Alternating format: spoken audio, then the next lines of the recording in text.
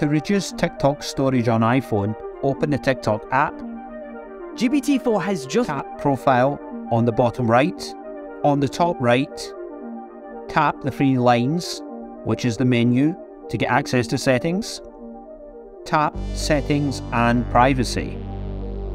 Tap down until you find cache and cellular. Tap free up space. And finally, you can tap clear to clear your cache. Clear your cache to free up space. This won't affect your TikTok experience. Tap clear.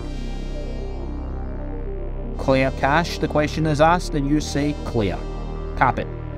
You can also clear your downloads, which may include effects, filters, stickers, and virtual GIFs downloaded on your app.